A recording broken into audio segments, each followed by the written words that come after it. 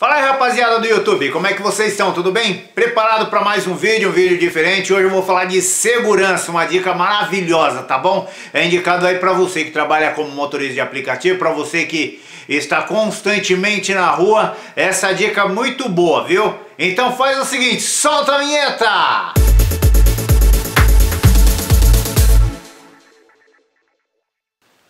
Olha pessoal, é, é, eu sempre costumo dar algumas dicas de segurança para alertar os nossos colegas de trabalho, seja motorista de aplicativo assim como eu, você que trabalha na rua, é, serve para qualquer tipo de pessoa essa dica de segurança, tá? Olha, dica sempre é bom, hein? É, feliz aquele que tem ouvido as dicas, tem colocado em prática, porque tem assim se livrado de muitos problemas.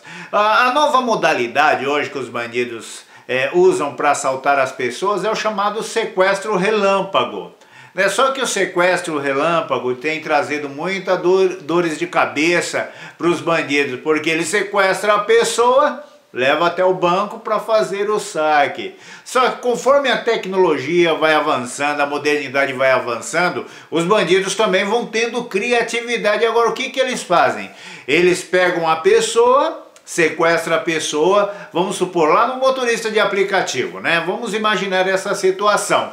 O motorista de aplicativo, ele é chamado para uma viagem, e aí ele aceita a viagem, quando chega lá, o, o, suposto passageiro fantasma, o passageiro lá falso, fraudulento, safado, sem vergonha, que para mim é tudo sem vergonha essa raça de bandido, mas tudo bem.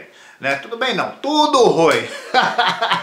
então essa raça de bandido, o que, que eles fazem? Eles chamam lá o, o, o motorista, e aí quando entra no carro, olha, isso é um assalto, fica quietinho, a gente só quer o dinheiro, é, só quer os seus bens, e, e agora, bom, antigamente eles levavam a pessoa, colocavam a pessoa lá atrás no porta-mala do carro, ia fazendo as compras com cartão de crédito, ia no banco fazendo o saque, era assim que eles faziam, não é verdade? Agora mudou, a nova prática que eles estão tendo, a nova modalidade de assalto, é assim, eles te abordam, né? vamos imaginar novamente a situação, o, o motorista, ele é abordado pelo bandido que entra no carro, olha, é um assalto, me passa o teu celular, põe a senha no aplicativo do banco, olha, transfere agora tudo para esta conta, e aí esvazia a sua conta, faz compra ali na internet, tudo através do seu aplicativo.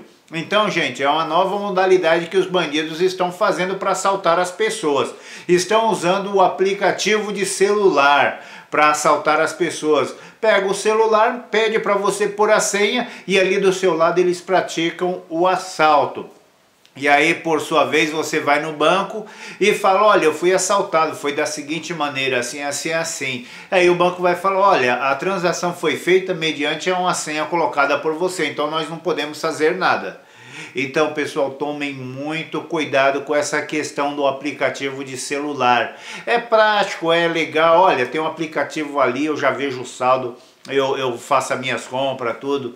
Mas eu, eu, particularmente eu, eu prefiro não ter aplicativo de banco no celular para evitar esse tipo de problema.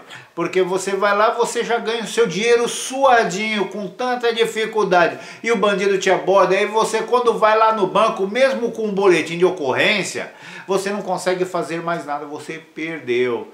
Então eu prefiro não ter.